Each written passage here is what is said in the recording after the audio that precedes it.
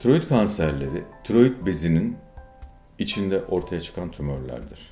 Genellikle tiroidde var olan nodüller içinden çıkarlar. Nodüllerin belirli yapıda ultrason ile, muayene ile ortaya konmasıyla tiroid kanseri olup olmadığına karar veririz. Aynı zamanda kanda yapılan bazı testlerle bunların tiroid hormon seviyeleri ölçülerek tiroid kanserindeki bağlantıyı ortaya koyarız. Ama tiroid hormonların ölçümüyle tiroid kanserin tanısını koymak diye bir yöntem yoktur. Tiroid kanserleri birden çok çeşidi vardır.